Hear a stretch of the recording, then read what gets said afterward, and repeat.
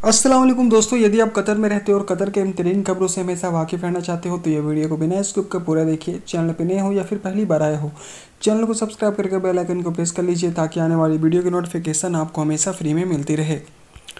तो साथ ही सबसे पहले जो खबर आ रही है, minimum pension for citizen increase to पंद्रह हज़ार कतर रियाल।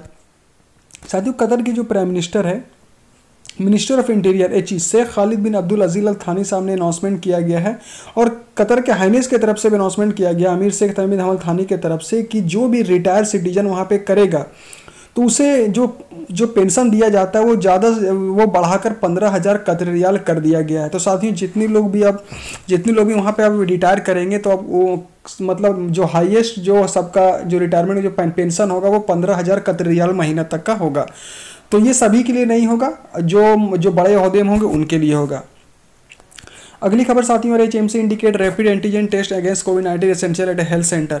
साथियों, हमेड मेडिकल कॉरपोरेशन की तरफ़ से अनाउंसमेंट किया गया, जो भी प्राइवेट सेक्टर या फिर गवर्नमेंट सेक्टर में जो भी वर्कर काम करते हैं तो वो लोग यदि वैक्सीन, वैक्सीनेटेड नहीं, यानी कोविड नाइन्टीन का वैक्सीन यदि उन्होंने नहीं लिया है तो उसको हर हफ़्ता हर हफ़्ता वहाँ पे कोविड, एक इंटेलिजेंट एक वहाँ पे टेस्ट कराना पड़ेगा, उसका नाम है रैपिड एंटीजन टेस्ट जो कि साथियों किसी प्राइवेट हॉस्पिटल में हो जाएगा और पंद्रह मिनट में उसकी जाँच आ जाएगी आपके नाक के ज़रिए आपका स्वैट टेस्ट लिया जाएगा उसी को रैपिड एंटीजन टेस्ट कहा जाता है।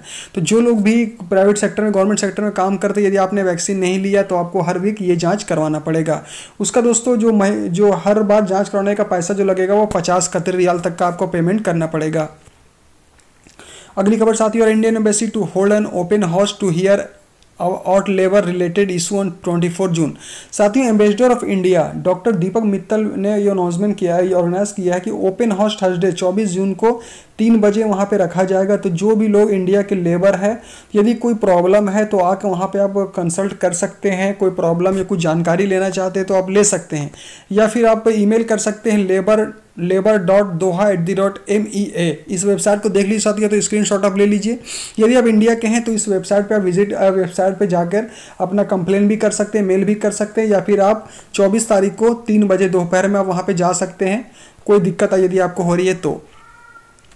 अगली खबर साथियों कतर रिकॉर्ड वन से one zero seven nine new cases and one death साथियों मिनिस्ट्री ऑफ़ पब्लिक हेल्थ की तरफ़ से बताया गया है कि 107 नया केस वहाँ पे वहाँ पे रजिस्टर किया गया है। आज 24 घंटे के अंदर 146 लोग वहाँ पे रिकवर हो गए हैं। 24 घंटे के अंदर टोटल रिकवरी वहाँ पे दो लाख अट्ठारह हज़ार दो सौ चवालीस है। और उसमें से 107 में से छियासठ जो है वो कम्युनिटी केसेस है और इकतालीस जो वो ट्रैवलर यानी जो बाहर से अब्रॉड से आ रहे थे, वो लोग हैं।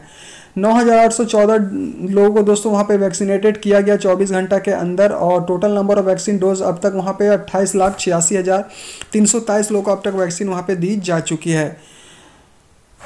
अगली खबर की ओर चलते हैं। अगली खबर साथियों जो आ रही traffic department seize vehicle for tamp tampering in Abu Hamour area. साथियों, एक general director of traffic department तरफ़ से अनाउंसमेंट किया गया है कि एक व्हीकल को वहाँ पे सीज किया गया है, कि इम्बॉन्डेंट with reference chip and went to viral social media social media पे मतलब दोस्तों, गाड़ी काफ़ी ज़्यादा वो रफ चला रहा था। दोस्तों, जैसा कि फ़ोटो आप देख सकते हैं, और काफ़ी ज़्यादा धुआँ हो रहा था। जिसके बाद सोशल मीडिया पर भी वीडियो वायरल हुई जिसका भी वीडियो ये गाड़ी वाले को पकड़ा गया। गाड़ी को फ़िलहाल सीज कर ली गई है, इस पर कानूनी कार्रवाई की जा रही है। तो ये कुछ खबर थी, साथियों।